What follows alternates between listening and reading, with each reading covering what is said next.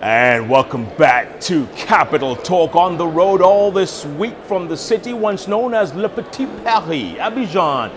And the theme of the week, as you all know, Africa's movers and shakers, like the young lady on the bench today, Ethiopia no less, a job to bridge the digital divide. Tough task, as Sophia Bekele says. She's up to the challenge. So, tough tough challenge, Sophia. You know that. It, uh, working in Africa, it's not going to be easy. I mean, don't expect to walk into country after country and they embrace you. They're going to fight you, if anything, for the sake of it. Well, that's an interesting challenge, Jeff, because uh, I'm used to the fight. Uh, my company, my private company in California, CBS International, has been in the business of uh, transferring technology for years, and Africa has been a, uh, not an easy market, but we've come back, we've come back, we have learned the psyche uh, of uh, the African uh, people, so it's not really new to us. So the fighting spirit is something that's, that's within me and, and the people I put behind. Uh, we need a strong team, obviously, and it's a continental project. Um, so I don't think bridging the digital divide is such a hard task in that sense. very optimistic. We are very, very much ready for it. You are? Yes. Okay. When you first went to America and to Silicon Valley for that matter, did you think, did you ever say to yourself, you know what, I'm going to take, I'm going to transfer everything that I've learned, all this technology, I'm going to take it back to Africa one day? Was that the sole purpose? Was that one of your goals and ambitions? To be honest with you, too young to have uh, thought of that but uh, once I have actually set up CBS International and uh, have decided to say Africa needs a technology, I've taken a one year break after my career and gone around the world to see what the other um, continents do, Asia as well as Latin America and so forth. So Africa was the next step and then when I went there I see that how satellites probably particularly six years ago how satellite and internet could change the whole um, ecosystem for Africa. And now we have the internet, particularly if not satellites, and we have the wireless and all the new technologies, and even social media, which is a big part of uh, what we're doing, domain names, um, which is transforming uh, the continent. Uh, all we need is an infrastructure-based broadband. Broadband is what we need, and I think the policymakers uh, Connect Africa Summit, which was done in 2007 by ITU, raised the biggest awareness for leadership, uh, government uh, heads of state level to understand what broadband can do to the society. It's part of like any infrastructure like water and power and so forth. So we need to look at internet as a commodity so that people, that is just besides the point. What we need is to build content actually. Africa should be thinking about what content we should put on the internet so that not only to empower the city, which is, has the highest internet penetration, we need to empower the rural areas. So therefore, the base is the broadband. When we talk about in internet infrastructure, we need to talk about broadband. Dot Africa domain cannot succeed without broadband availability in the countries. So the youth have understood it, but the leadership is now beginning to understand. Look what happened, I think, in Zimbabwe, first uh, also country in the south to actually launch a big broadband initiative. So I think uh, we're progressing. Uh, I see the next three, four years Africa having broadband as a commodity. But how many people at the end of the day are on the internet, are users on the internet in Africa? Because look, nearly a billion people, 1%, less than 1%? Yeah, but you, the same occurs in the USA. So, I mean, uh, there is uh, uh, there's a broadband initiative by uh, President Obama now, for example. Why? Because he's trying to penetrate the areas that are not touched. So there's always going to be that contrast. So we're not looking at the half glass, um, half. Uh, uh how do you say glass, glass being half, half empty. empty. Yes, thank you. Yeah. Uh, but we're looking at the glass being full. So half when we look half full.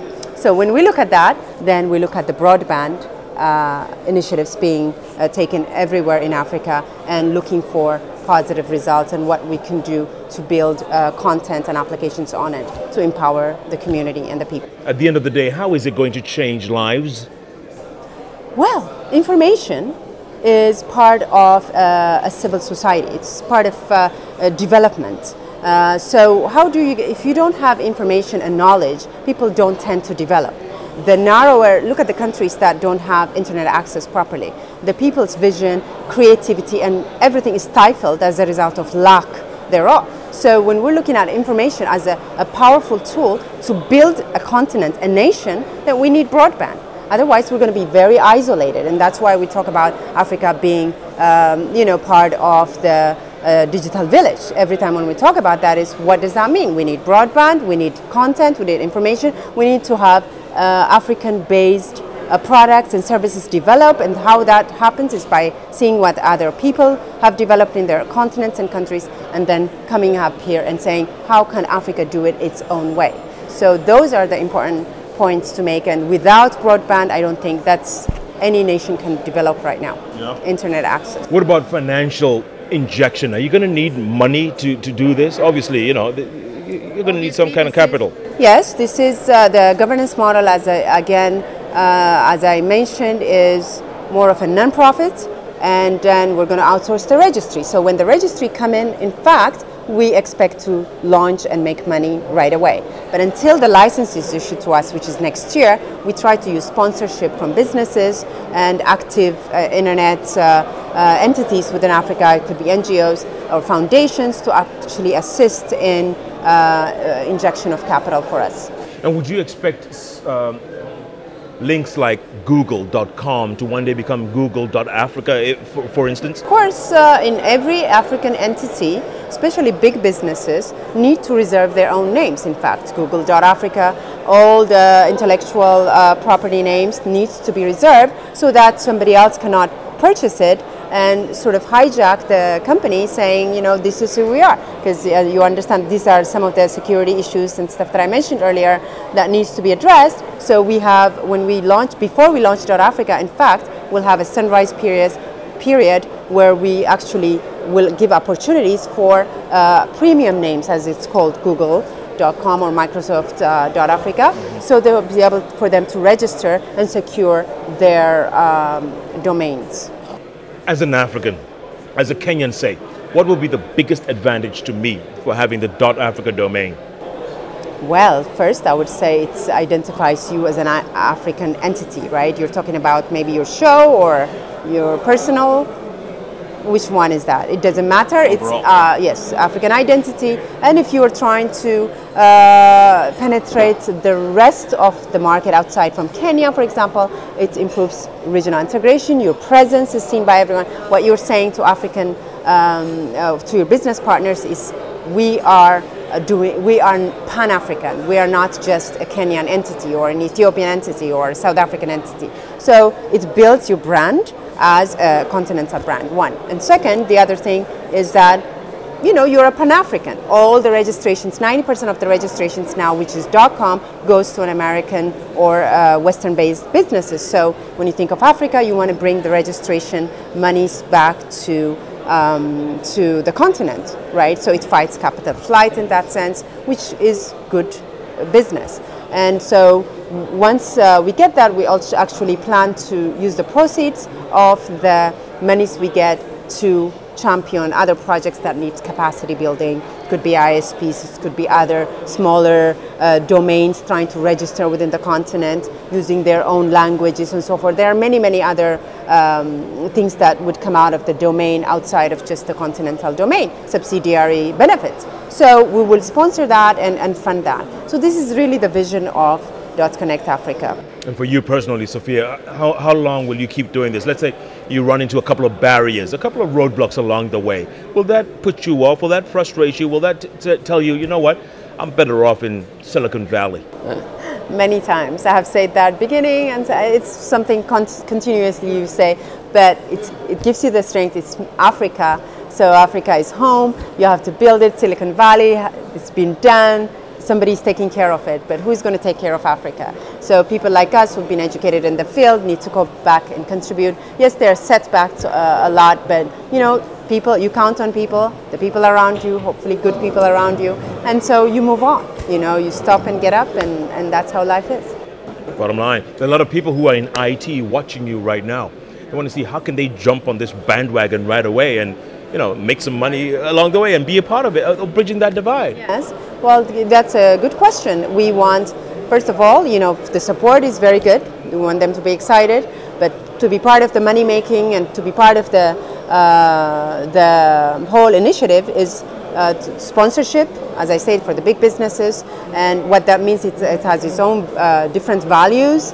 Um, they will be part of the development of a new industry because we're developing a really new industry of registering domains, which brings in the sales aspect of it, registrars, that's what it's called. So anybody can sell a .africa domain. It's not restricted to someone in the industry. So in a sense, people could be registrars, setting up themselves as registrars and making money from, from the sales aspect of it, like a resellers like anybody in America could be a reseller, you know, that sort of thing. So, uh, so we're really building an, a continental industry uh, based on domain names. We're building applications on domains. We're building, there's the security aspect of domain names which security firms, existing security firms could consult and, and be part of. So uh, I think we're very excited to bring a, a whole industry to the continent. And it allows for the economics of getting jobs and creating new initiatives out of this. And it has a rippling effect Bottom of uh, progress. You were saying that three, four years from now, Africa will have, the landscape will have changed tremendously. Yes. Throw us down the line, five, ten years. How will Africa look if all things being equal? Yes, uh, well, as I said, the cable, uh, the fiber, that will really change the way information uh, the way pe people view things, the way people access information. That's going to change every industry in Africa in terms of going global, going regional, and uh, making connections, a communication system, and so forth. The social media is something that's going to come no matter what. So the youth will be more empowered. Now the youth has to go to university. The youth has to develop a specialized project in their own homes to be part of the information society. Now social media like Facebook, Twitter, and all the others are going to be like online so it's more cloud computing will be something that Africa is going to embrace just like the mobiles. We've embraced the mobiles more than the infrastructure telephony system. So cloud computing is the idea of having everything on uh, someone else's server, which is the Yahoos and the Googles. And so applications will be more built on uh, the internet. So people will start accessing everything online directly on the server. So that creates that internet society. And what that means is we more bother about securing the internet instead of actually worrying about, um, you know, uh, not having internet uh, at all. So uh, this is this is where I see the next next thing happening. So yeah. Capital Talk Cloud will one day be Capital Talk Africa. Anytime. Thank you. Reserve your name. I'll do it right now. Not just a pretty face, huh? Sophia Bekele, good grief. What a week it's been on the bench in Abidjan. We are bringing on the continent's movers and shakers. And like Sophia Bekele here, she wants to bridge that digital divide one country at a time. What a guest, what a show. What a week it's turning out to be on the bench. You simply cannot find these kinds of guests anywhere else but right here on the bench on the award-winning station K24, soon to be Dot Africa, where we are. Even though we're in Abidjan, all Kenyan. All the time. Good job.